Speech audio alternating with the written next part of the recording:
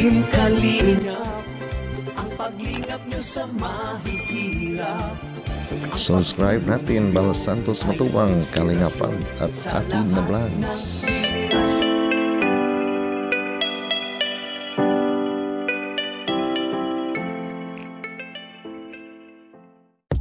Ayun, welcome back again sa aking channel. At ito na po ang inyong host Kasangga Mix TV muli po tayong gagawa ng reaction video. Ah, sa video ito mga kasangga ito po yung ah, latest update po sa bahay po natin Melissa no? napakagandang bahay po mga kasangga. Bago po natin yan nasimulan at ah, nais ko po munang magpapasalamat po sa palagi po niyong pagsuporta sa aking channel. Nawaya palagi po tayong gabayan ni Lord. Iwas po sa anong po mga kapahamakan at Dubling ingat po tayo ngayon mga kasangga no? dahil alam po natin na marami na po ang ah, natamaan po ng ah, nakakawang sakit lalong lalo na po dyan sa atin sa Pilipinas. So ingat ingat po tayo dyan ng ating mga pamilya dyan sa Pilipinas. At siyempre tayo na rin po na mga dito po sa ibang bansa mga OFW na nagsisikap para sa ating pamilya. At tubling ingat po tayo dahil pagka tayo po ang ah, masakit ay alam po natin na mahirapan din po ang ating mga pamilya dyan sa Pilipinas dahil tayo lang po talaga ang inaasahan po nila, di ba mga kasangga? So ingat din po tayo sa lahat-lahat po. Kung saan man po tayong sulok ng mundo ay muling ingat po tayo ngayon. Sa mga hindi pa po pala nakasuporta dyan sa kanila Kuya Bal Santos Matubang. So, suportahan po natin mga kasangga, no? Bal Santos Matubang, Kalinga Prab, at kay Atid na Vlogs. Yan. Panoorin po natin palagi ang kanilang mga video.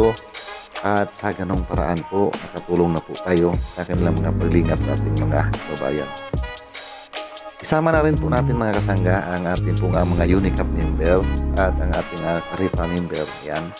At pakisuyo na rin po sa aking team busis ng masa. Ayan, din po natin mga kasangga. Okay mga kasangga, at uh, simulan na po natin itong ating ah, gagawin po na reaction video. At i-play muna natin itong video mga kasangga para makita po natin ang napakagandang bahay po ni Ate Elisa. Okay, let's go.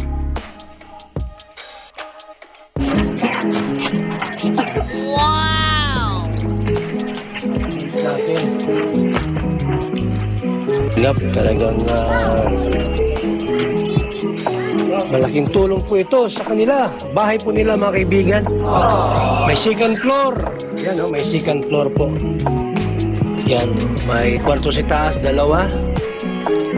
Tapos sa yan. Yan, Jilumags. Salamat po sa Coos family.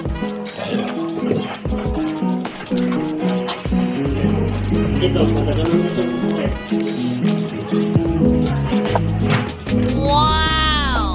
Ito yung kwarto mabili po. Ma malaki wow. kwarto. Ayan. Malaki ng kwarto po, mga kalingap. Dalawang kwarto So yan mga kasangga, no? Napakagandang bahay talaga mga kasangga, no? Sa itaas po may ah, dalawang kwarto, may tiris, at sa ibaba naman may isang kwarto, may lababo at saka CR. So dito po mga kasangga, sa atin po nakikita na bahay nito mga kasangga, hindi po biro magpatayo ng ganitong bahay mga kasangga, no? Napakalaking halaga po ang ating pong ah, ipunin bago po tayo makapagawa po ng ganitong bahay.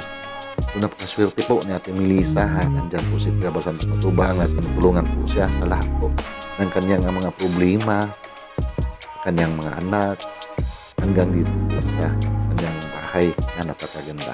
At kasama po naman ni Kuya Bal Santos Matubang ang ating po mga sponsor na host team at yung iba pa na tumutulong. So, maraming salamat po sa palagi po nating uh, pagsuporta kay uh, Kuya Bal Santos Matubang. Sana po ay hindi po tayo magsawa na suportahan po ang mga ginagawa po nila ni Kuya Bal Santos Matubang, Kalingap Sab. Ay uh, yan po para po sa atin po mga kababayan na mga mahihirap. So dito po mga sangga, ang masabi ko lang po kay Ate Melissa na halagaan po niya mabuti itong bahay at uh, siyempre ang uh, number po ang kanyang mga anak.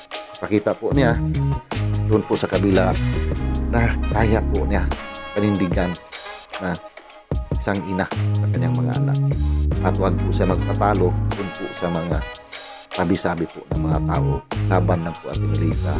At andyan po si Lord na kalalay sa iyo. At andyan po si Kuya Bal Santos Matubang na handa pong tumulong sa iyo. Kaya huwag mo pong isipin yung mga tao po na mga paninira lang po na sangga.